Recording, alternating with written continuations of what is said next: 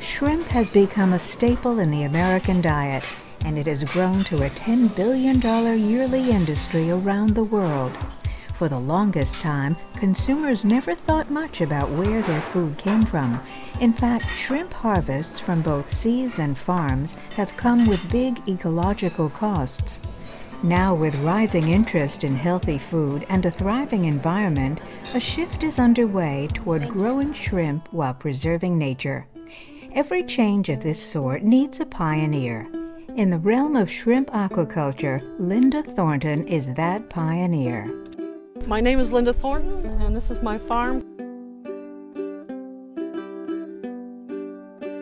I have only good words to say about Linda Thornton, and I think that um, you know, without her efforts um, in, in, my work, I think we probably would not have gotten as far as we have in Belize. I attended the University of Illinois in Champaign-Urbana, and I was uh, studying agriculture, primarily animal science and our, I was concentrating mostly on, on production of swine. And our, my senior year, I was working with Dr. Homer Buck, who had, was trying, he was in the fisheries department. The professor asked me if I wanted to learn how to breed some freshwater shrimp, which we brought in from Hawaii. And I did that, but I killed them all because I didn't know what I was doing. So a friend of a friend said she knew about a man building a shrimp farm indoors in Chicago. And it sounded like a crazy idea, which it was, but um, I went and interviewed with the man and he hired me. I was the first employee he had. We started a company called King James Shrimp and it was in a suburb right south of Chicago in a 100,000 square foot building. It ran for about three years and then it, it didn't financially make it, but technically it was really a great success. And then when that closed, a small group of us started a small consulting company and we uh, we went to the Cayman Islands and Jamaica because they were interested in building kind of a smaller version of that, but unfortunately that never happened either. Right after that time, I um, had received back from the IRS a, uh, a refund. And um, my boss had always talked about Belize, that he thought it would be a fascinating place to go visit. So I took my refund and I came to Belize and uh, kind of instantly fell in love. Belize is a country located on the Caribbean coast of Central America, nested between Mexico and Guatemala. Because of its hundreds of ancient Mayan sites, lush tropical rainforests, abundance of islands, and its proximity to the second largest barrier reef in the world, it's becoming a must-see tourist destination. Linda wanted to be more than just a tourist and discovered an opportunity in Belize. There was a uh, trade journal called Aquaculture Digest, and they had a, a small uh, article about a shrimp farm being built in Belize. Um, a gentleman from Lansing, Michigan had built it, so I drove up to Lansing from, from Chicago and, and met him and asked him if I could come and work for him. And he told me I wouldn't last one day here and I'm still here. So uh, that's how I got to Belize. It was on her 30th birthday that she met her husband, Bill, suitably at a shrimp farm. My husband at the time was the uh, was what we call a shrimp husband. You know, I had the job and he didn't. He was very frustrated. So he wanted to do something on his own. And because of my agricultural background, I said, well, we need we need pigs in this country. We don't have enough pigs. So my husband got the idea that uh, we're going to start a pig farm. And in those days, you could lease uh, land for like two dollars per lease an acre a year. So for for 200 U.S. dollars, we could we could farm this land. We started this pig farm, and it was uh, it, was a lot of work. Then later on, I, I acquired another 200 acres. So now I have 400 acres here. But I was able to purchase that 400 acres for 16,000 US dollars. So that was part of the dream of coming to Belize was kind of like pioneer days, you know. Linda and Bill's farm plans continued, and they were about to deliver their next load of pigs to the meat plant, a transaction that would have provided enough money to pay off the loan taken to finance the farm. But on the night of October 12, 1994, everything changed.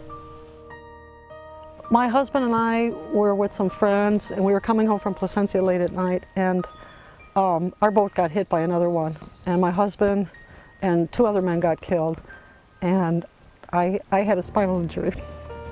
But um, luckily, I was able to go to the States. I, I got medevac to New Orleans, and then um, since my family's from Chicago, they, they took me to the Rehab Institute in Chicago, which was a, a wonderful place. After surgery and months of rehabilitation, she returned to Belize in 1996 and slowly tried to rebuild the pig operation. At the same time, despite constant pain and limited mobility, she went to work at not just one shrimp farm, but two. I really admire Linda Thornton. She's a person um, who has overcome a lot of adversity, and, and she's probably one of the toughest, most competent people I've met. I mean, this is a person that's barely able to walk some mornings, and she gets up and you know goes to a shrimp farm and, and runs a thousand acres of shrimp farms, and then comes home and then runs her own farm, and um, and that's that's not a trivial thing. At the time, shrimp farming was rapidly expanding in Belize, and Linda became a central figure in the industry. The coastal area of Belize is almost the perfect environment for shrimp farming. Uh, the soils are clay soils. Uh, the land was, there was a lot of open land at those days. And, and of course our water. Uh, Belize had a, a, a, great labor force that was very willing, very educated, and uh, didn't have jobs. So we, we were able to get a lot of good people to work with us at the beginning. And um, the entrepreneur spirit is very good here, and people came in and built shrimp farms. As soon as one was successful, another one would just start right away. From the 1990s onward, the shrimp industry was booming from Thailand to Texas, with shrimp fleets and farms hauling in fast-growing harvests. This once pricey seafood was fast becoming a mainstay of the middle-class diet. It's, uh, it's like eating hamburger now rather than uh, a real fancy uh, fish dish. While shrimp farming in Belize has had its ups and downs, today Linda is involved in three busy operations Aquamar, Haney, and her own farm, Cardelli, named after her father. The farms, which together sprawl over 1,200 acres, have dozens of ponds, reflecting the full range of methods used to grow shrimp. Some are densely packed and fed a sophisticated brew of harmless bacteria. Others have fewer shrimp and take little care to maintain. But all of the shrimp raised in these ponds begin life in a hatchery at Aquamar. The first step comes in a breeding tank, where huge Pacific white shrimp mingle and mate. Female shrimp lay hundreds of thousands of fertilized eggs, which soon hatch into tiny larvae. Algae is grown indoors and is fed to the larvae along with immature brine shrimp. Within three weeks, they're large enough to be transferred to the ponds. Their health and size are closely tracked through the four to eight months before harvest. With growth comes new environmental concerns. The country has tried to preserve a lot of its natural areas. Um, the water is one of our, and the reef, of course, is one of our, our biggest assets. Environmental groups in Belize and around the world pressured the shrimp industry to limit its impacts. Early on, Linda recalled how activists would try to disrupt scientific conferences. And it was just, it was kind of like a childish prank. And uh, I, I didn't see the purpose in it. We always felt that nobody had ever taken the time to, to come and talk to us. We would get a lot of bad press and everybody said we were bad, but we'd never have these environmentalists visit the farm. That all changed when she met Tim Smith. Tim did a study on the Placencia Lagoon and uh, where the nutrients were coming. And he, he was the first one to present real data to show that, you know, not just hearsay that, oh, all shrimp farms are bad and they're polluting everything. But Tim collected real data and showed, yes, that the shrimp farms do have an impact on the lagoon. But he also showed that the tourism development had a large impact that other people had not been considering. And we kind of appreciated that because, okay, now we're all in this together, let's, let's work on it together. And, and Tim uh, would, would visit with us at the, the shrimp, we have a shrimp association, the growers, and he would spend time with us and they brought in WWF and uh, we started working together. The quality of the shrimp and the impact on the environment depend on three things managing what the shrimp eat, the waste they produce, and the condition of the water they live in. Through experience, Linda found with Tim's help that some of the same practices that limit disease also limit pollution. We, we have learned how to manage our feed. That, that's really the most important thing. If you manage your feed and use less of it, you don't have as much nutrients in the uh, effluent water. The difference is that we now have developed the bacterial system where we put water in the pond, we aerate, but we first get the good bacteria working, which breaks down all the waste created from feed in the pond. And um, that becomes um, actually feed for the shrimp also. But the best part of the system is you don't have to ever change the water. Use the same water. You, when we harvest a pond, we can actually store the water in another pond and, and just start all over again. You could reuse that water 8, 10, as many times as you can. So this is, uh, it's a very expensive system to set up. Not everyone has the money to do it, but it is our goals for the future to all aquaculture systems would be like this. Uh, there's marketing efforts now for people to understand uh, where, where does your food come from? Is it grown locally? How is it grown? Do they use antibiotics? Do they use chemicals? In Belize, we use no antibiotics or chemicals in our shrimp. And if you manage the shrimp properly and keep the environment healthy, they don't get sick. Every season ends with an all-night harvest, which Linda says is her favorite part of the cycle. Every time that shrimp is just pouring out, you're just, you're just so excited because you're getting all your answers to, to your work for the whole year. Linda and other farmers are now working with the World Wildlife Fund to develop a certification standard for sustainable shrimp.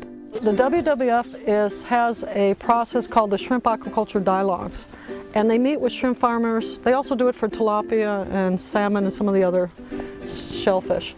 Um, and they meet with shrimp farmers all over the world, and together we were trying to develop a set of criteria that we can all adhere to. Within shrimp aquaculture, World Wildlife Fund has been looking for um, standards or developing standards for, um, for environmentally sustainable production. And that process has been going on for several years. They actually came to Belize and met with shrimp farmers there and shrimp farmers from around Central America and said, um, these are the kinds of things we'd like to accomplish. We're trying to build a model there within Belize that can be transferred to other countries and we'd like to see, you know, no use of antibiotics, no, no uh, removal of mangroves, for instance, which is a major impact of shrimp farming. Um, we'd like to see good labor practices. We'd like to see a lot of the things that exist right now within Belize um, transferred out into other countries as well. If they can establish a market and establish sort of a higher price for their um, products, I think, I think that they'll have sort of a sustainable future in, in production there. She just is one of my favorite people. I, I think that uh, I think if we had more Linda Thorntons around the world, um, shrimp farming would, would have a much better reputation than it does right now. Linda continues to work with other farmers and environmentalists to spread sustainable practices, but she already has her eye on a new frontier. There's uh, systems called aquaponics, and it's the incorporation of aquaculture the aquaculture of, of, fish or some crustaceans with hydroponically grown vegetables. And uh, there's a lot of, lot of work being done all over, all over the world now by this. So my dream is, in the next couple years, is to set up uh, a very large production scale system of that here in Belize and train people to work it. And then even go a step further and try to make some value-added products out of the vegetables and the fish and that. And uh, and provide the, the whole Caribbean with some maybe more um, like frozen foods and such that uh, uh, would be healthy, organically grown, and uh, make us all money. I think it was being the oldest of seven children uh, with a hardworking mother that, uh, you know, always pushed us to do things. Um, we, I, I don't know, I find my 50s are uh, I think is, is it menopause or what? But women go through this, this burst of uh, energy and they want to, you're finally at that period, unfortunately I never had children, but um, you're, you're past your childbearing days and you've got all this experiences now and you don't have those responsibilities so much at home. And uh, I just have all these ideas that I've been wanting to do all these years. And uh, I finally have the financial means to do it. So it's fun. What am I going to do? Sit, sit on the beach and drink pina coladas? That would that'd be kind of boring.